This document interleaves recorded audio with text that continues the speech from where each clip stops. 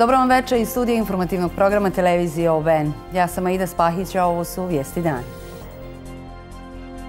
Centralna izborna komisija Bosne i Hercegovine očekujemo fer i korektne izbore, registrovano više od 3,3 miliona birača. Danas ponovo na ulicama se traži pravda za Dženana Memića i Davida Dragičevića.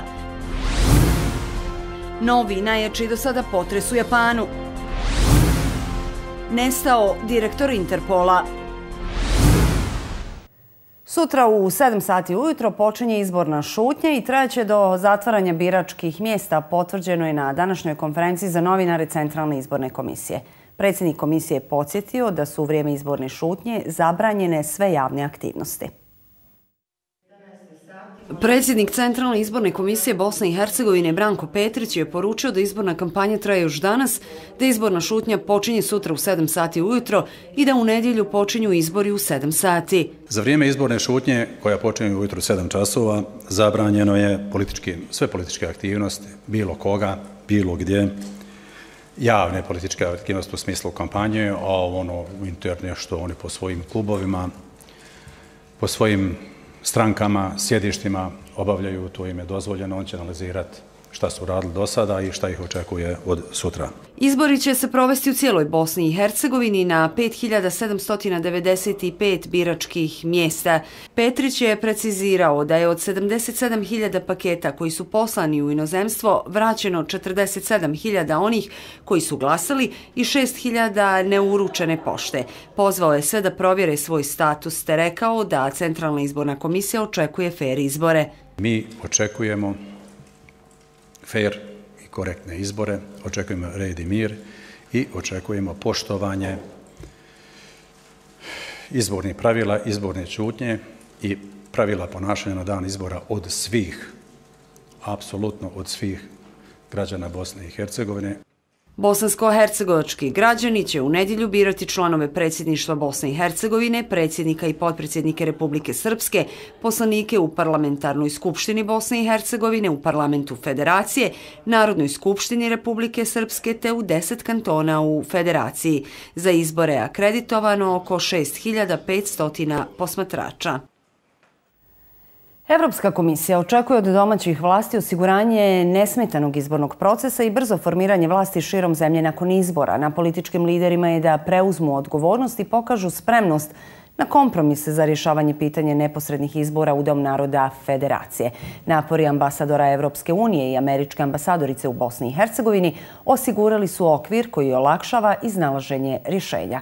Održavanje izbora i provedba izbornih rezultata, uključujući odgovarajuće funkcioniranje institucija, jesu osnovni demokratski preduvjet za bilo koju zemlju koja teži članstvu u Evropsku uniju.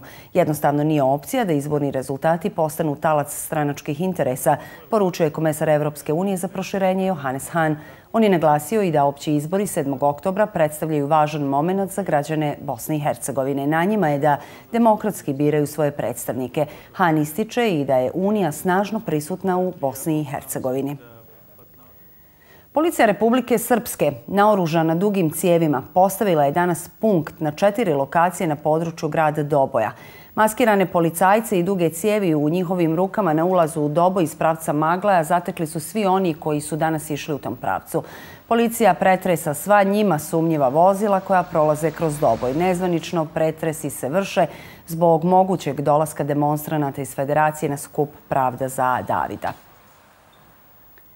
A u 18 sati počela su mirna okupljanja građana u Sarajevu na trgu Djece Sarajeva i u Banjoj Luci na trgu Krajine. Ponovo se traži pravda za nerazjašnjene smrti Džanana Memića i Davida Dragičevića.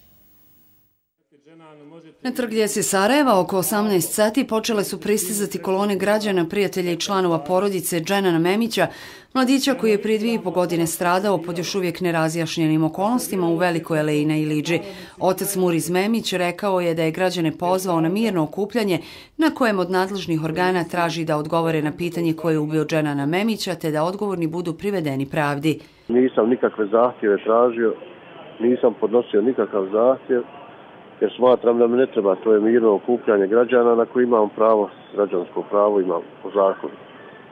Ja ću obrat građanima i dalje ću tražiti njihovu podršku u ovoj mojoj borbi, jer to je deseti put da ja pozivam građane jer institucije ne rade ništa.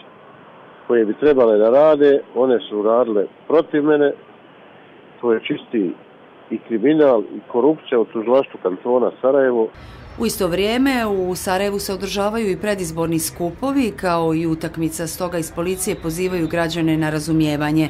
Obzirom da će očekujemo veliku fluktuaciju stanovništva i moguće otežano odvijanje saobraćaja. Građane molimo za razumijevanje, a mi ćemo, dakle, policijski službenici uprave policije će preduzeti sve mjere i radnje u cilju zaštite lične imovinske sigurnosti građana. Sa skupa u Sarajevu pružena je podrška članovima grupe Pravde za Davida, koji su na trgu krajine u Banju i Luciju isto vrijeme započeli sa, kako su najavili, najmasovnijim skupom podrške, tražeći istinu i pravdu za smrt Davida Dragičevića. Ranije su pozvali građana građane da im se pridruže u borbi za istinu i pravdu. Sve dobre ljude otvorenog uma koji su svjesni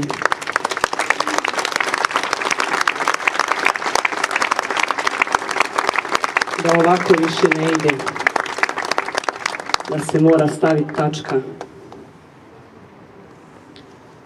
na ovu njihovu vladavinu bezakonja. Otac Davor sa svakog svog dosadašnjeg skupa jasno je poručivao da neće odustati dok se ne otkriju nalogodavci smrti njegovog sina.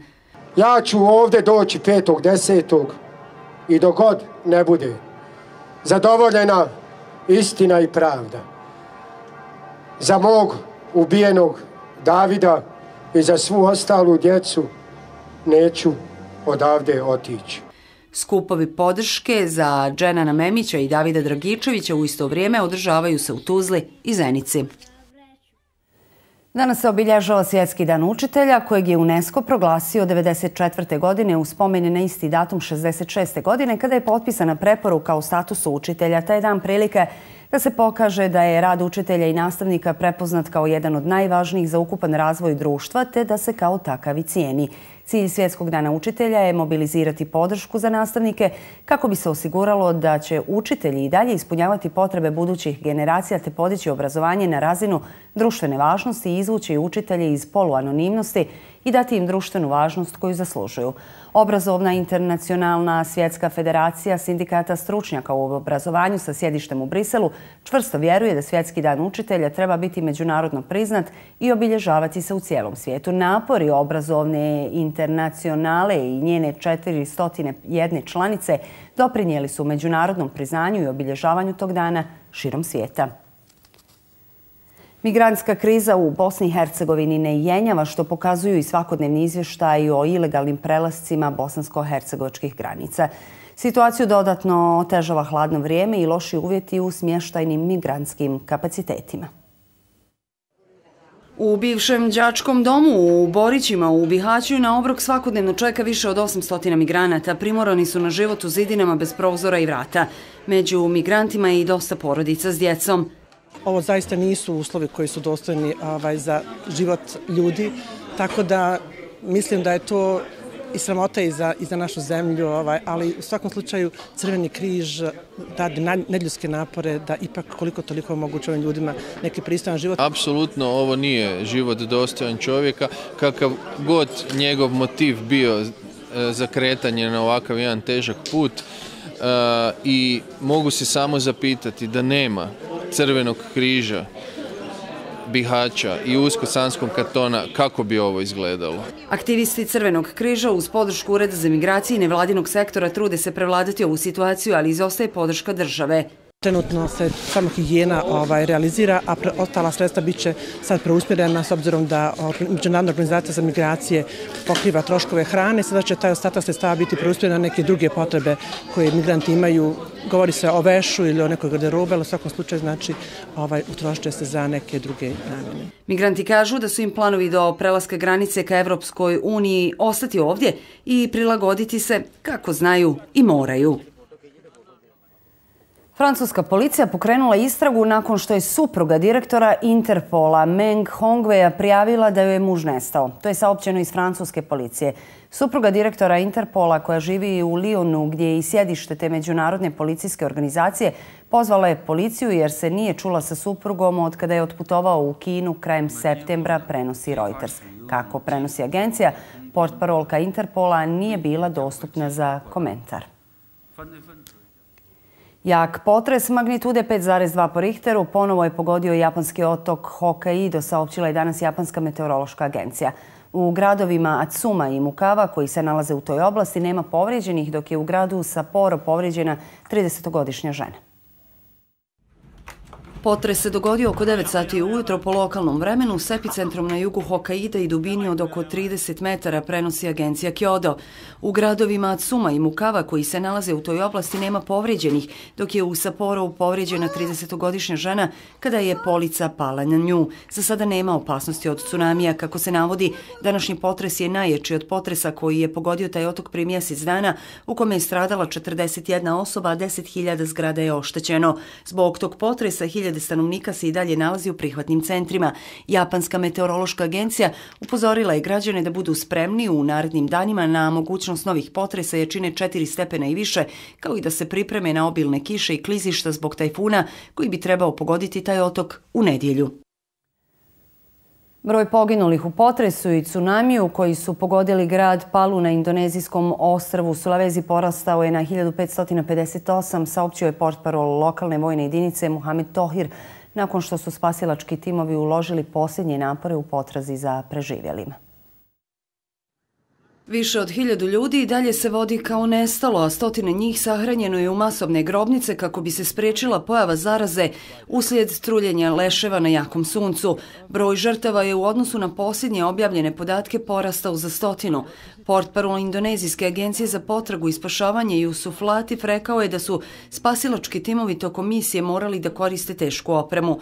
Potres je čine 7,5 stepeni po Richterovoj skali i tsunami pogodili su, podsjećamo, u petak 26. 6. septembra grad Palu i okolinu u pokrajini centralni Sulawesi. Vlasti su u današnji datum postavili kao krajnji rok za pronalaženje preživjelih, iako su male šanse da se ispod ruševina bilo ko spasi toliko vremena nakon potresa i tsunamija. Pomoć preživjelima sporo stiže, a očajni mještani pljačkaju prodavnice kako bi se snadbjeli hranom. Vlasti su poručile da mještani treba da uzmu samo hranu i da će prodavnicama kasnije biti plaćena ta roba. Nakon nekoliko dana odgađanja, mještanima je konačno počela da pristiže međunarodna pomoć, a Ujedinjeni narodi tvrde da je humanitarna pomoć potrebna za oko 200.000 ljudi. Indonezija je u prvima odbila da prihvati međunarodnu pomoć, tvrdeći da indonezijska vojska može sama da se izbori sa katastrofom, ali su vlasti uslijed velikih razmjera katastrofe ipak prihvatile pomoć iz inozemstva.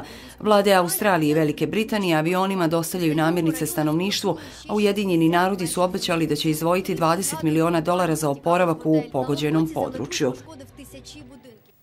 Najmanje 320 osoba povređeno je kada je nakrcani voz koji je putovao iz poslovnog središta Južne Afrike Johannesburga u prijestolnicu Pretoriju udario u stražni dio voza koji je stajao na stanici saopćeno je danas iz službe željezničkog saobraćaja. U sudaru koji se desio u 5 sati i 50 minuta ujutro tokom jutarnje špice 32 putnika su zadobila teže povrede, ali niko nije u kritičnom stanju. Povrijeđeni putnici prebačeni su u bolnice na medicinski tretman, navodi se u saopćenju iz željezničke službe, te dodaje da će istražna komisija utvrditi uzrok nesreće. U januaru je u sličnoj nesreći u predgrađu Johannesburga povrijeđeno 220 osoba. Južna Afrika zemlja je s najvećom željezničkom mrežom na kontinentu, ali je ugrožena lošim upravljanjem i slabim ulaganjima koji su doveli do pada interesa za korištenje željezničkog saobraćaja, uprkos činjenici da je to najjeftiniji vid javnog prijevoza.